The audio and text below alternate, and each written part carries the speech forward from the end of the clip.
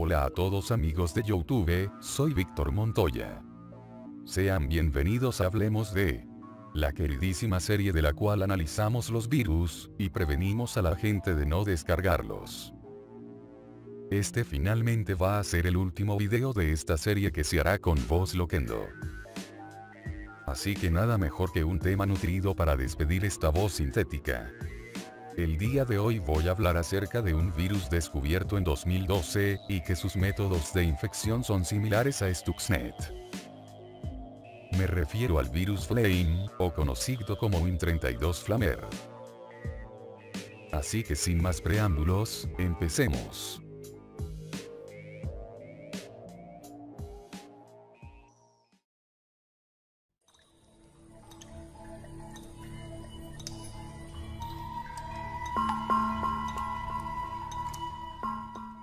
Virus Flame.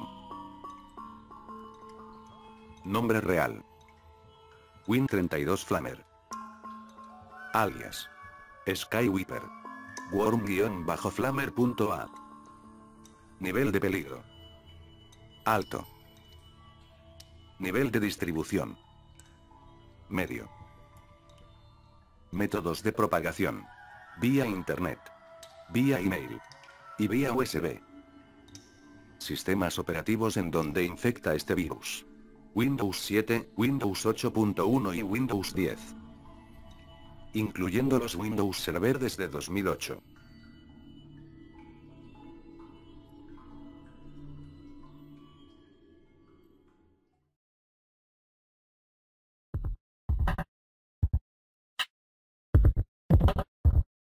Después de lo ocurrido con Stuxnet a mediados de 2010, era de esperarse que surgieran nuevas variantes con similares métodos de ataque. Sin embargo, este malware a diferencia de otros como Stuxnet o Duku, su propósito gira en torno al espionaje. Descubierto el 28 de mayo de 2012 a través del Centro Maher o mejor conocido como el Centro de Equipo Nacional de Respuesta a Emergencias Informáticas de Irán, Kaspersky Crisis Lab de la Universidad de Budapest. Este último afirmó que Flame es sin duda el malware más sofisticado que encontraron durante el proceso. Su método de infección es casi similar al gusano Stuxnet. Pero las payloads son distintas. Puede interceptar grabaciones de audio, capturas de pantalla, actividad del teclado y de tráfico de red. También graba conversaciones de Skype y puede convertir las computadoras infectadas en balizas Bluetooth que intentan descargar información de contacto de dispositivos cercanos habilitados para Bluetooth. Para los que no lo saben, una baliza electrónica es un dispositivo transmisor que se utiliza para radiar una señal Bluetooth de baja energía, a dispositivos móviles que se encuentren cerca de él, sin necesidad de sincronización previa. Hmm. Ya veo por qué los de la Universidad de Budapest se asombraron de las capacidades de este virus. Era de esperarse. Los datos, junto con los documentos almacenados localmente, se envían a uno de varios servidores botnet que se encuentran dispersos por todo el mundo. El programa luego espera más instrucciones de estos servidores. Según estimaciones hechas por Kaspersky, este virus infectó a más de mil ordenadores.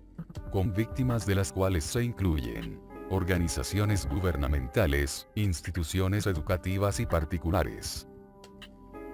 El 65% de las computadoras infectadas ocurrieron en Irán, Israel, Palestina, Sudán, Siria, Líbano, Arabia Saudita y Egipto. Como nos muestra la imagen. Al igual que pasó con Stuxnet, al ver los casos de las computadoras infectadas y los lugares donde fueron infectados, dan para muchas especulaciones especialmente sobre los autores de este virus. El cual da a entender que esto no fue hecho especialmente por un programador desocupado o antislamita. Pero bueno. Eso no nos incumbe por el momento. A continuación explicaré cómo fue que detectaron este virus y cómo es su método de infección a través de las computadoras.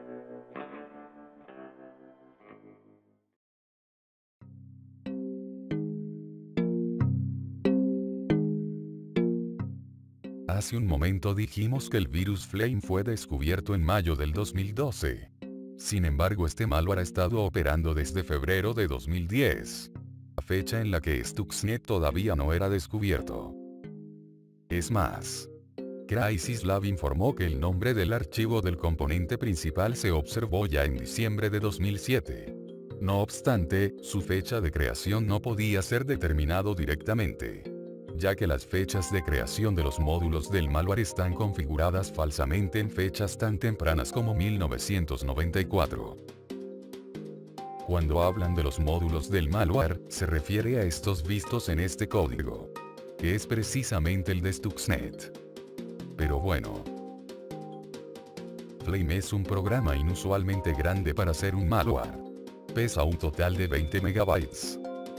20.000 veces más que lo que pesa un gusano informático. Debido al tamaño y la complejidad del programa, descrito como mucho más complicado que Stuxnet, el laboratorio declaró que un análisis completo podría requerir hasta 10 años. Así que los que pensaron que Petscope es complejo, los quiero ver analizando este virus. Está escrito a través del lenguaje de scripts llamado Lua, y basado en el código C++. También permite que otros módulos de ataque se carguen después de la infección inicial. Tiene varias maneras de propagarse, por correo electrónico o a través de phishing. Sin embargo, el método que más utiliza y por el que todos concuerdan, es por la vía USB. A través de ahí puede aprovechar la vulnerabilidad de ejecución automática de accesos directos. Una vulnerabilidad que se había hablado en un video pasado especialmente el de Stuxnet. Los invito a que lo vean para entender esto con más claridad. En el momento que el virus vulnera la PC de la víctima, deja este archivo. Archivo el cual no es detectado por los antivirus. Pero ¿cómo es esto posible? Este malware hace lo mismo que Stuxnet. A través de una firma de certificación rogada en este caso un certificado del servicio de licencias de Microsoft Terminal Server, el cual usaba un algoritmo de seguridad débil. Algo que se aprovechó para crear copias falsas del certificado y ser implementadas como camuflaje para no ser detectados por un antivirus.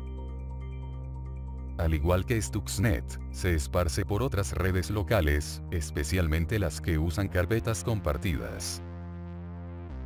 Además de este archivo, el malware descarga los siguientes archivos, y deja las siguientes carpetas. Podemos ver que algunos archivos son pertenecientes al malware mientras que otros archivos, son detectados como troyano flamer.cfg. Este troyano es descargado por el malware Flame para el propósito de encriptar algunos archivos importantes de Flame, y también para que los antivirus no lo detecten. Este malware crea el siguiente registro. Para autoarrancarse cada vez que la PC inicie. Y también termina los siguientes procesos.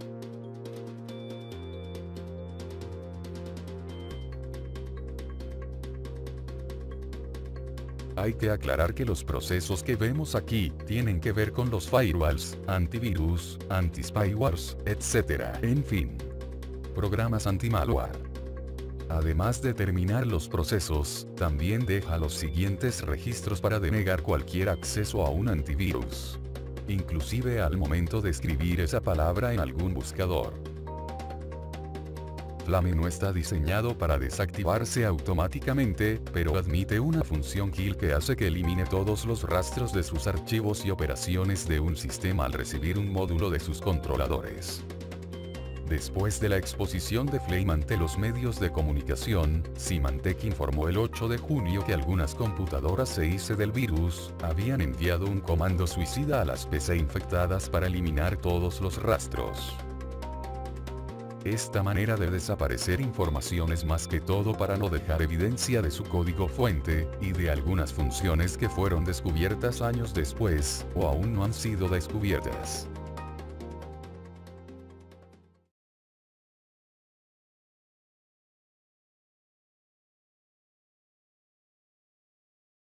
Obviamente las sospechas no se hicieron esperar sobre los posibles autores de este malware. Según un artículo del Washington Post, se afirmó que Flame fue desarrollado conjuntamente por la Agencia de Seguridad Nacional, la CIA y el Ejército de Israel al menos cinco años antes. Se dijo que el proyecto era parte de un esfuerzo clasificado llamado Juegos Olímpicos, y que tenía la intención de recopilar información en preparación para una campaña de sabotaje cibernético destinada a frenar los esfuerzos nucleares iraníes. Esto quiere decir que Flame atacó antes que Stuxnet, con la finalidad de saber algún punto débil y dar espacio a un siguiente ataque. En este caso el del gusano Stuxnet. Según un experto principal en malware de Kaspersky, afirma que la geografía de los objetivos y también la complejidad de la amenaza no dejan dudas de que es un Estado-nación el que patrocinó la investigación que se realizó. Después de su respectivo análisis, Kaspersky luego dijo que existe una fuerte relación entre Flame y Stuxnet. La primera versión de Stuxnet contenía código para propagarse a través de unidades USB que es casi idéntico a un módulo Flame que explota la misma vulnerabilidad de día cero. En fin. ¿Qué piensan ustedes? ¿Creen que en realidad hubo una relación entre agencias de inteligencia, estos malwares y el programa nuclear de Irán? Respondan en la caja de comentarios.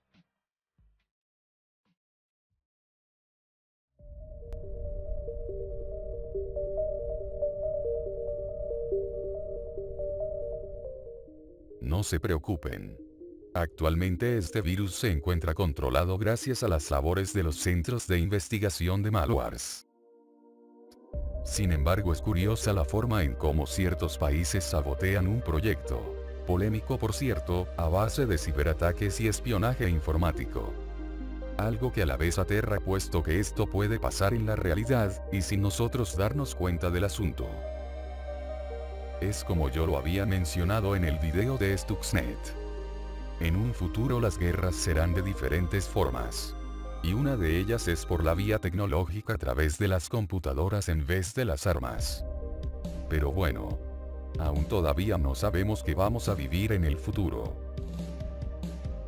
Algo que sí puedo decir con certeza, es que la prevención es el arma número uno para combatir este tipo de virus ya que asumiré yo, muchos de estos sistemas operativos, fueron infectados debido a la impericia a nivel de seguridad. Como por ejemplo poseer un Windows XP después de finalizado el soporte estándar, o no poseer un antivirus, o no tener un analizador de virus en las memorias, en fin. Muchas cosas que pueden ser evitadas al ser precavido en donde navega y prevenido ante los peligros que hay en la Internet especialmente cuando trabajas en países que están en la mira de distintas potencias mundiales. En conclusión, la prevención en este caso es el arma letal en contra del espionaje y las ciberguerras que hay o habrán en la Internet.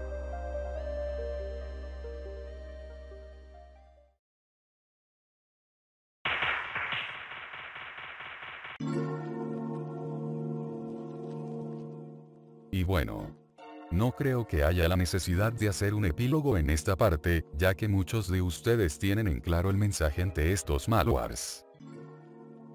Simplemente quiero hacer una pequeña despedida de esta voz loquendo, el cual ha atraído a muchas personas.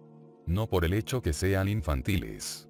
Aunque hay algunos que sí, sino por el hecho de que esta voz sintética sin saberlo hizo crecer el canal a un punto considerable. Y yo espero que esto no tenga techo y siga subiendo. Sabemos que una parte del logro fue gracias al Loquendo. Pero otra parte fue gracias al constante trabajo que vengo haciendo a la hora de editar y subir videos. Algo que me entretiene mucho.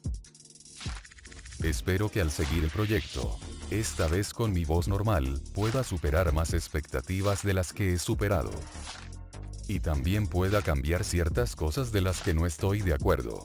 No es por malo por joderles la existencia, sino más bien por superarme tanto a mí mismo como a otros. Eso espero.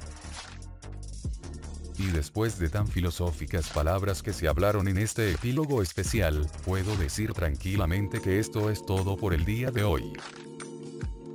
Si les gustó este video no olviden darle like y suscribirse a mi canal. También no olviden activar la campanita para que estén al día con mis videos. Tampoco no olviden visitar mis redes sociales.